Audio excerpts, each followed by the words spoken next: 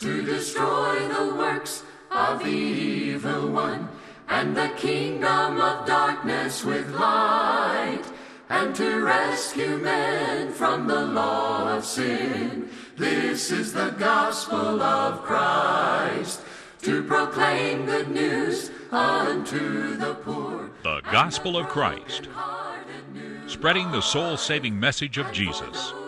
And now, Ben Bailey. This is the gospel of Christ. Rend your hearts and not your garments. Return to the Lord your God. Joel chapter 2, verse number 13. Welcome to our study of the minor prophets of the Old Testament. Today, specifically, we're going to be thinking about the Pentecost prophet, the prophet that pointed more than any toward that great day in Acts chapter 2 on Pentecost, the book of Joel. Today's lesson being brought to you by members of the Church of Christ worldwide, and this program, The Gospel of Christ, is overseen by the elders of the Central Church of Christ in McMinnville, Tennessee. We'd love for you to stop by and visit the Church of Christ in your area where you'll always find a warm and inviting welcome.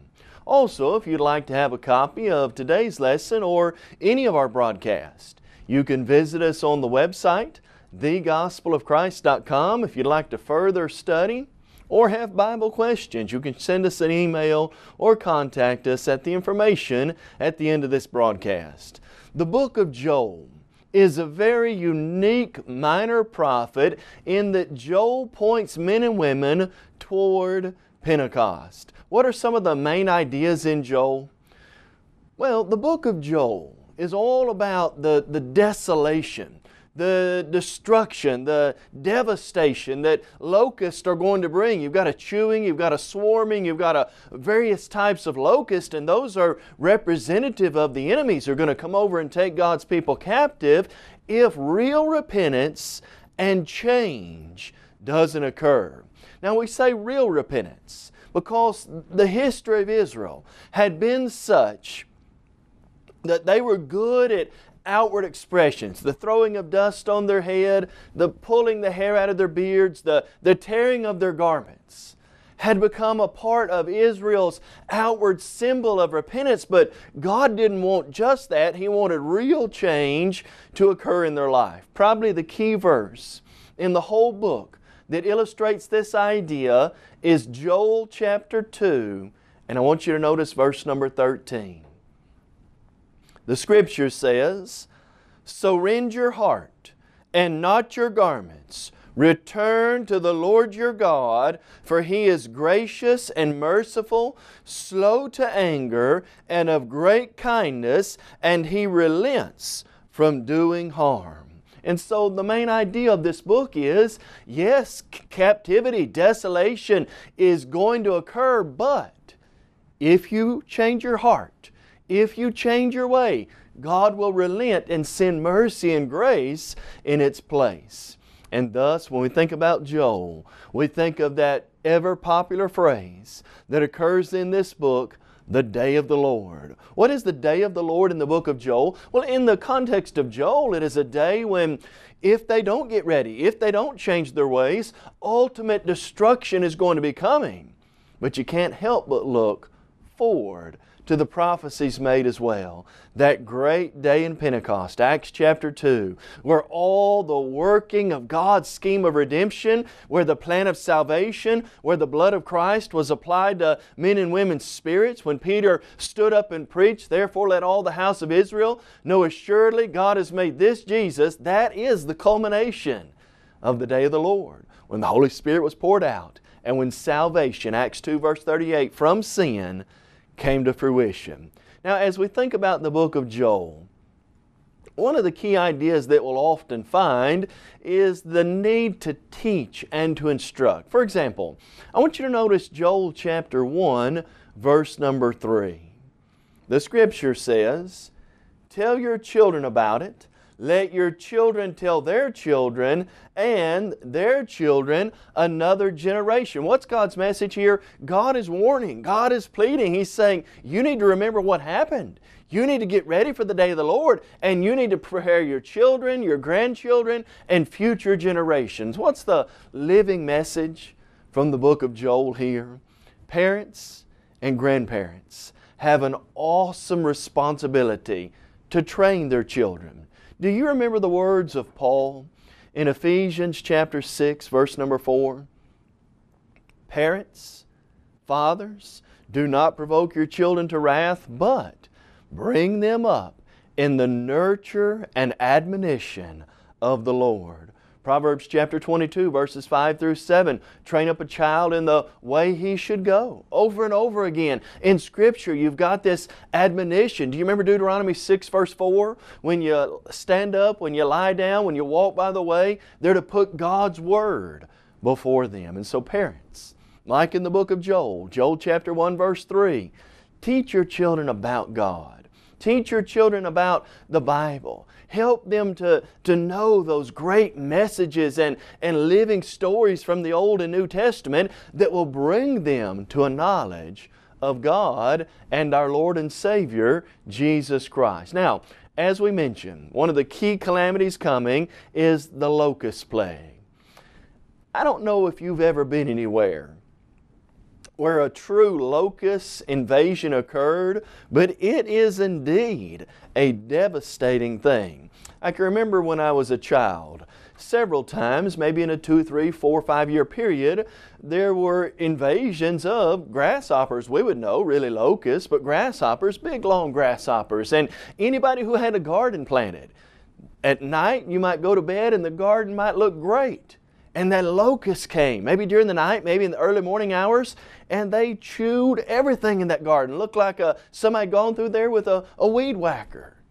What did they do? Them locusts, they invaded the land. They ate and swarmed and got all over you and your plants and the animals. And, and what's the whole point of this? Is God really saying that these locusts, well, that's the idea, but really the locust invasion is only future of what's going to happen if God's people don't change their ways. This represents devastation. It represents a, a crisis that is designed to awaken Israel. If you think the locusts are bad, wait till the Babylonians come. Wait till the Medo Persians come. Wait till these people come and invade your land. These locusts aren't anything. What were they designed to do? What are times of crisis, difficulty, and trial designed to do for God's people? Notice some of the things in the book of Joel. For example, Joel chapter 1 verse 5, they were designed to awaken. You know, sometimes if we're not careful, we can kind of get in a slumber. We can kind of get in a, a state where we're just going through the motions and we really don't stop and think about things. They were designed to cause sorrow and lamenting. Chapter 1, verse 8. You look a little further in the book of Joel, and they were designed to make the people of Israel ashamed. And chapter 2, verse 13, ultimately to bring them to repentance. These difficulties, these locusts, they were designed to get Israel's attention and help them turn back to the true and the living God in every way. And so, what a powerful example these locusts set. Now, let's think for just a moment about that key phrase that we find in the book of Joel, and that is the phrase, the day of the Lord. What is this day of the Lord? Well, as you study the book of Joel, it's representative of several things. For example, Joel chapter 1 verse 15, it is referred to as a day of destruction. It's not a day that you want to be there on. It's a day of destruction. God's people are being weighed in the balances, and if they don't change, it's not going to be a pretty day. It is a day of darkness and gloom. You can think of days of history where maybe for people today, they were days of darkness and gloom, stock market crash, bombing of Pearl Harbor, the uh, bombing of the Twin Towers on September 11th. All those days are days of darkness and gloom historically. Bad things happened then. That's what God is trying to express. If changes aren't made, this is going to be a very difficult time. It is uh, chapter 2, verse 11, it's described as a, a great and terrible day. Chapter 2, verse 31, a great and awesome day. And then, of course, chapter 3, verse 14, a day of decision making. Are you really going to put your faith in God? What about these nations and their idols and, and the immorality that it's a, who are you really going to decide to serve? You know, every day that we have indeed is a blessing from God. The scripture says, Today is the day the Lord has made. We'll rejoice and be glad in it. Psalm 118, verse 22. And friends, let's be sure of this. Nobody knows the day nor the hour when the Lord is coming, Matthew 24, verses 34 through 36, or when we'll breathe our last. James chapter 4, verse 14, life is like a vapor. And so as we think about this day of the Lord, there's definitely practical application to be made, and it's this. I've got to make sure, and you've got to make sure, we've got to make sure that we're ready at all times to depart and be with the Lord. Anything could happen. Life can change so briefly and abruptly. And yet, are we really ready? Do you remember what Jesus said? Mark chapter 13, verse 35. Jesus said, What I say unto you, I say unto all. Watch, be ready. Be sober, be vigilant. Your adversary, the devil, walks about like a roaring lion, seeking whom he may devour. Now, I want us to think for just a moment, though, about some of the things that Joel mentions in that key verse, that pivotal verse, Joel chapter 2, verse number 13. Look again at this verse with me.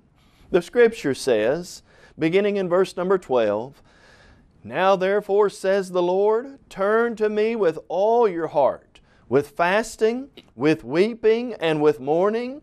So rend your heart and not your garments. Return to the Lord your God, for He is gracious and merciful, slow to anger, and of great kindness, and He relents from doing harm. Who knows if he will turn and relent and leave a blessing behind him, a grain offering and a drink, drink offering for the Lord your God? What in essence is Joel trying to get across? Yes, the locusts are coming.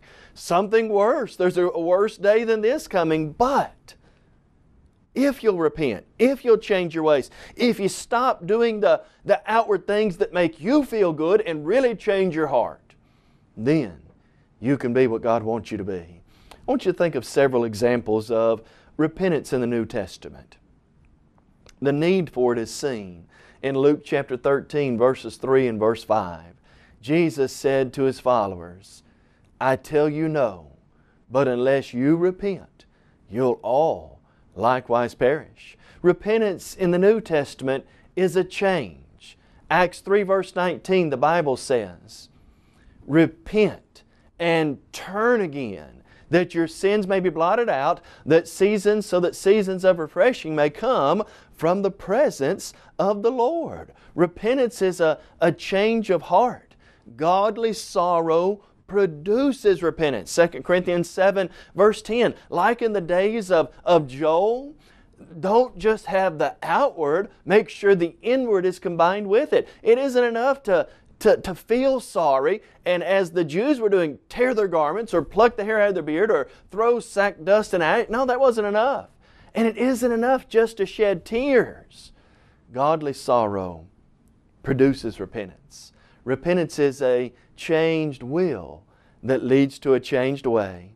I change the way I think, and then I change the way I act. That's real repentance. 1 Thessalonians chapter 1 verses 7 through 10 of the Thessalonians, it is said, they turned from idols to God to serve the true and living God. There's real repentance. They stopped looking to idols. Wasn't enough just to do that though.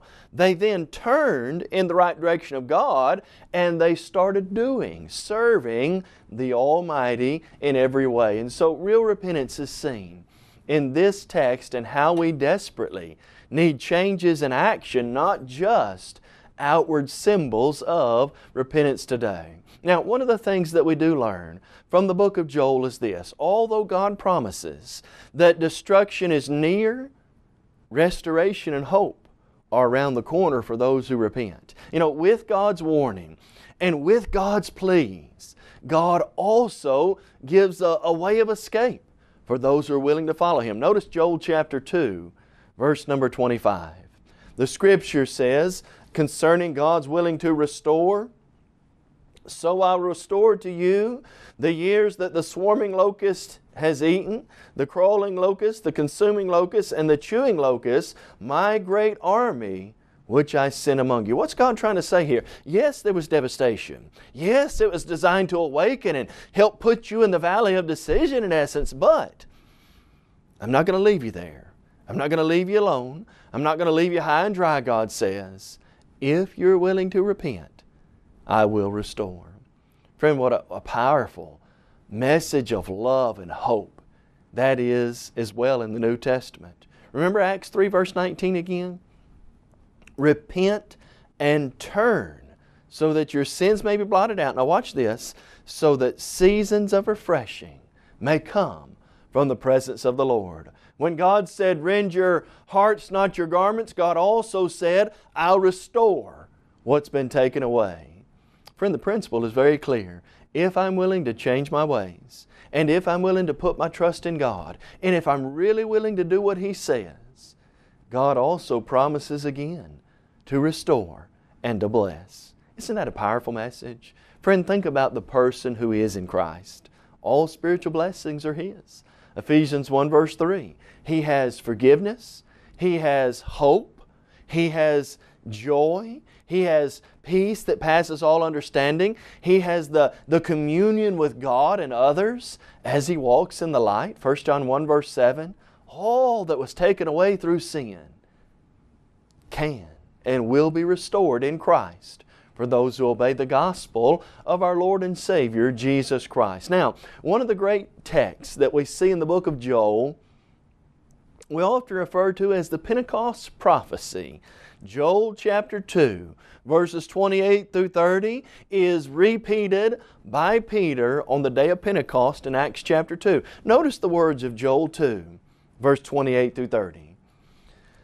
The Bible says, And it shall come to pass afterward that I will pour out my Spirit on all flesh. Your sons and your daughters shall prophesy, your old men shall dream dreams, your young men shall see visions, and also on my men servants and on my maid servants I will pour out my Spirit in those days, and I will show wonders in the heavens and in the earth, blood and fire and pillars of smoke. The sun shall be turned to darkness, the moon into blood, before the coming of the great and awesome day of the Lord. And it shall come to pass that whoever calls on the name of the Lord shall be saved, for in Mount Zion and in Jerusalem there shall be deliverance, as the Lord has said, among the remnant whom the Lord calls. Now, what is this message of Pentecost? Well, again, as we think about the prophecy, and as we think about the things that are said to come, you've got to first consider it in the context. In the context, God is showing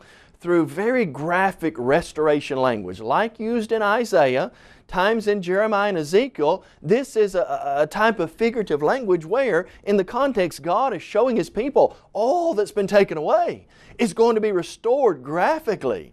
And yet, this text, which first applied to Joel's hearers, also is further applied down the stream of time on the day of Pentecost. Let's turn there and notice the rest of that. Look in Acts chapter 2 with me, and I want you to notice what the Bible says beginning in verse number 17. The scripture says, beginning in verse 14, Peter standing up with the eleven on the day of Pentecost raised his voice and said to them, Men of Judea and all who dwell in Jerusalem, let this be known to you and heed my words. Now watch this. For these, the eleven who stood up and spoke in languages they'd never studied, these are not drunk as you suppose, since it's only the third hour of the day. It's only nine in the morning. But, what is it then, Peter? But, this is what was spoken by the prophet Joel. And he goes on to mention Acts chapter 2, verse 17 through 21, a direct quote from Joel 2, verse 28 to 30. Well, what's going on here? The 11, they stood up as the Holy Spirit was poured out upon them, as they spoke in unknown languages, languages unknown to them that they never studied. This was an amazing thing. And, and some people said they're drunk. How can they be babbling? How, how's this happening? Peter said, No, they're not drunk. This is the fulfillment of that day of the Lord spoken about in Joel chapter 2. Just as there was restoration, just as hope, just as renewal was given in Joel chapter 2 on the day of Pentecost, the greatest hope and renewal ever given occurred, and that is forgiveness of sins through Jesus Christ. You know, to really understand the prophecy of Joel 2 and its fulfillment in Acts 2, we need to look at the end result in Acts chapter 2. Remember, Acts 2 verse 36 comes to a climax. Peter says, Therefore, let all the house of Israel know assuredly, God has made this Jesus, whom you crucified, both Lord and Christ. How did they respond to that? Acts 2 verse 37. When they heard this, they were cut to the heart, and they cried out, Men and brethren, what shall we do?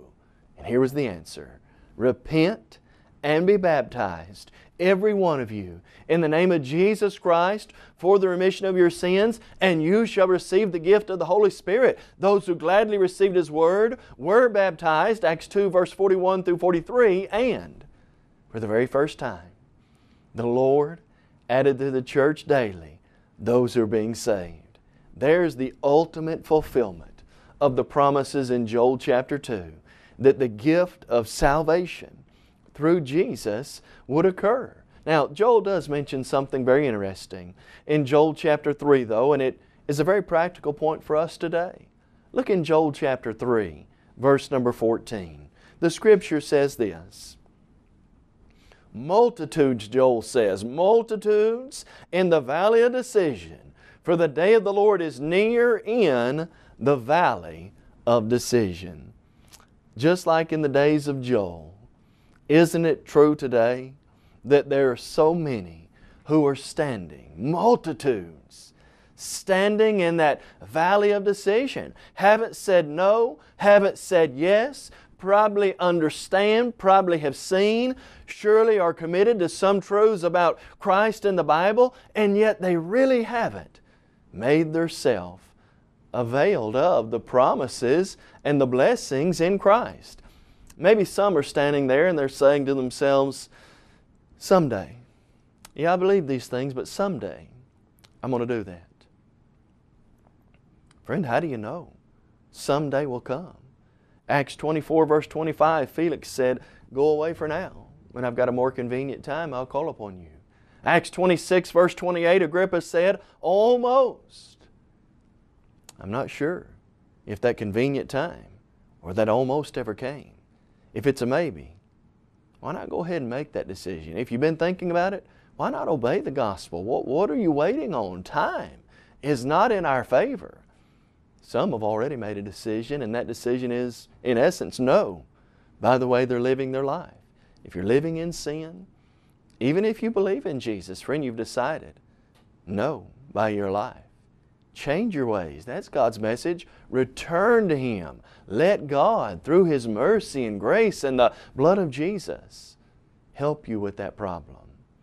One final message that we definitely want to address from the book of Joel and Acts chapter 2 because it is such a, a devastating false doctrine. We want to deal with this as well. In Joel chapter 2, verse 32, the scripture says, Whoever calls on the name of the Lord will be saved.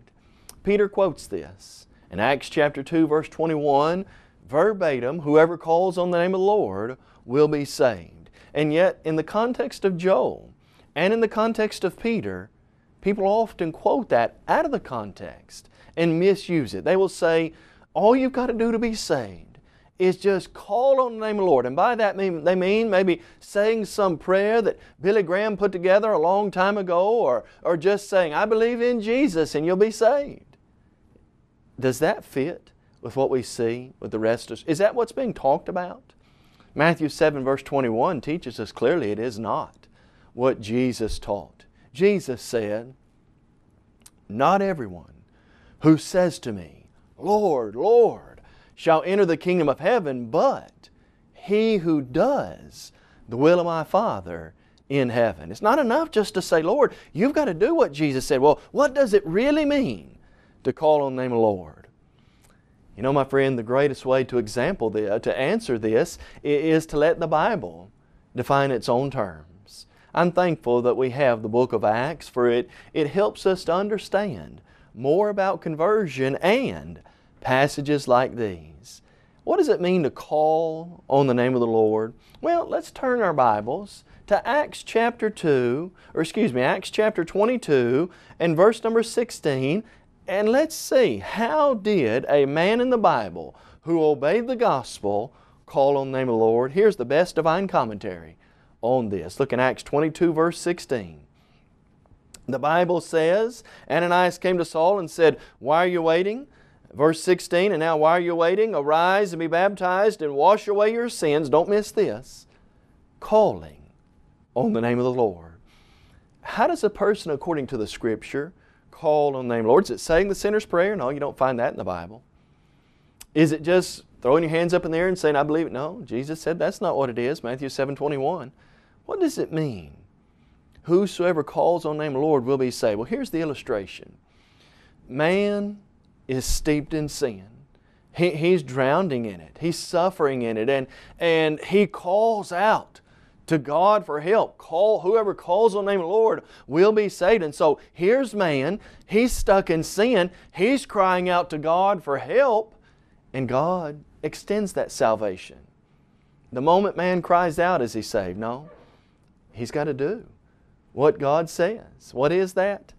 Don't miss Acts 22 16. Saul arose and was baptized, having called on the name of the Lord. How do you call on the name of the Lord? You get up and do what God says to be saved. People have to hear the Word. Romans 10 verse 17. You must believe in Jesus, no doubt. John 8 24. Eh, the Joel, book of Joel illustrates repentance must occur. Acts 2 verse 38. You've got to make the good confession. Romans 10 verse 10. And just as Saul illustrated, you must arise and be baptized and wash away your sins, having. That's how you call on the name of the Lord. Friend, we ask you today to consider are your ways, are my ways, are we in line with the will of God? Are our lives what they ought to be? If not, be sure there is a day coming. I'll give an account and you'll give an account. May we all be ready for that great day by obeying the gospel of Christ. You may have just joined our program and are wondering, what is the gospel of Christ? The gospel of Christ is an evangelistic work of the churches of Christ that reaches the whole world with the gospel through TV, radio, and internet. Our motto is to take the whole gospel to the whole world. We believe in having a book, chapter, and verse for everything we say and do. And unlike many religious groups today, we're concerned about lost souls, not your wallet. We encourage you to visit thegospelofchrist.com for a host of Bible study materials as well as audio and video copies of our lessons. If you would like to have a copy of today's lesson, please visit our website and fill out a media request form, or you can email us at mail at thegospelofchrist.com. Call us toll free at 1 855 458 3905 or write to us at P.O. Box 788, McMinnville, Tennessee 37111.